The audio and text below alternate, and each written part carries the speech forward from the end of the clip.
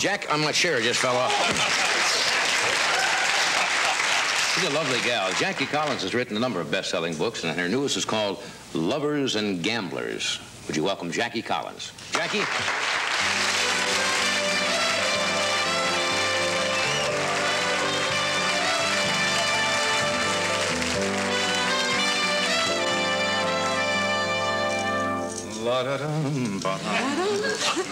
Lovers and gamblers. It's a racy book, I want to tell you now. Do you think it's racy? Yeah. It's about a raunchy guy. Yes. You know, a famous guy. And I always think that writing about men like that is very interesting. Yeah. Because they have a lot of problems that ordinary guys in the street don't have. Is that true? Mm-hmm. I mean, you wouldn't know about it, Johnny. No, would no, no, no, no. Now, is this Um, based on a real... It's based on a composite, uh, kind of a Rod Stewart or a Tom Jones, that kind of a character, Mm-hmm. a rock star who's in his 30s, and the ultimate thrill for him is getting out and having 60,000 women scream for his body. Well, after that, when you go home to one, the thrill is gone, so they say. No, I wouldn't know about No, that. you I've never know had about that. I mean- 60,000 women screaming for my body. The interesting thing is, though, you know, famous men do get women throwing themselves at them all the time, but you wouldn't know about Yeah, that. that's true. No, no. and I think that they... well, he would over there.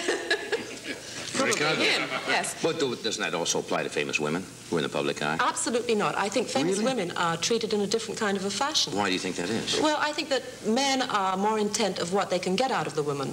Not sexually, perhaps, but perhaps um, what can she do for them? I mean, if they're a young actor and they see a famous movie star, they're going to think, can I get in the next movie? Whereas a woman looks at a famous man and she thinks, uh, I wouldn't mind being Mrs. Johnny Carson, for instance, or Yeah. Mrs. Ed, or, you know, Mrs. Montalban. No, I, Mrs. Ed. but there's a lot of people. Mrs. Mrs. Ed is a horse.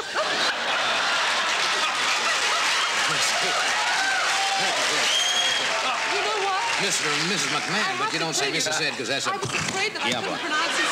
That's all right. I was afraid that I couldn't pronounce his second name. Yeah. No, there's probably... Uh, do you think uh, men are more op- opportunistic than women? Um, I think probably they are, yes. But then, you know, the people I write about, like in the book, in Lovers and Gamblers, I write about a character who has a wife. Now, a lot of famous men trade the first wife in for a better-looking model. As they get more successful, Really? they want a different kind of... different kind of a wife, you see. They want somebody that fits the image.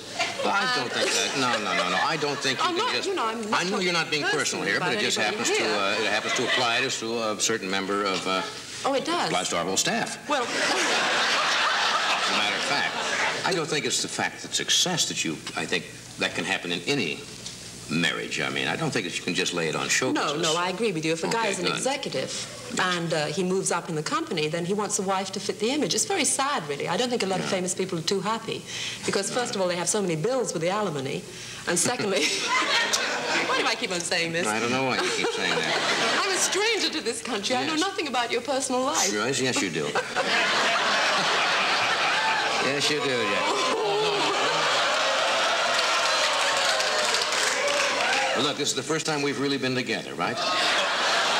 Do you mind rephrasing that, John? I mean, what I mean is, you know what I'm saying. Yes, I know what you mean. No, no, the interesting thing is when you write the kind of fiction that I write, Mm-hmm. people are inclined to say, hey, isn't that so-and-so? I mean, in this book they say, isn't that Hugh Hefner? And isn't that Barbara Walters? And isn't that Tom Jones? But the point is it's not, because It's if you wrote about those people, yes, if you wrote about the actual It's about power and uh, what it's power about power happens and and, so money and sex and fame. It's a nice family story. You think that...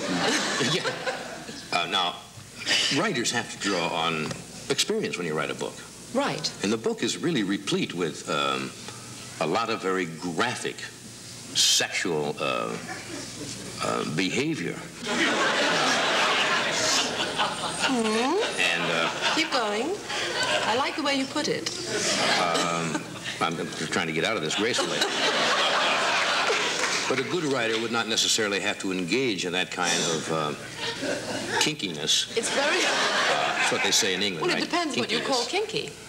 But it's That's all interesting that you relative, should isn't say it? this, you Yes. see, because Bicycle chains are kinky. they are. Well, everyone to his own. I mean, I was just... It's interesting that you say this because I do not write very explicit sex, but I write the kind of book. Oh, Come on now. Come on now. This is What do you fair. mean you don't write explicit sex? You can read the first paragraph if that's what you're looking Well, for. Oh, no. Oh, that right? Actually, the first paragraph is quite interesting. It is a guy taking a shower, and he climbs out of the shower and he looks at himself in the mirror, Right. which I'm sure guys do all the time, don't they? Well, certainly. Yeah. Well, if you have a male writer, he always has a woman climbing out of the bath and studying her body in the mirror. So it's kind of a send-up in a way. Right. But so many people are shocked by this. They read this first paragraph and they think, oh my God, look at that word she's used. This is shocking. I mean, it's just a part of a man's anatomy, just like any other part. Give or take. Well, I hope it's not like every other part. I hope it's not like every other part. And the strange thing is that I, I'm compared. I see what you mean. Yeah, they do draw a comparison between you and Harold Robbins, do they not? Absolutely. But Harold, people say, oh, good old Harold, you know, that's a bit kinky, but we'll have a laugh at that. But because it's me and because I'm a woman writing that kind of book, yeah. they get a bit shocked. Well, I wasn't you know, there are down. bookstores that will not take the book. Are you serious? Yeah, they read the first paragraph and they say, well, we better not have this book in our store. But meanwhile, everybody else, uh, you know, the male writers can be more explicit about things and get away with it. I suppose you're right.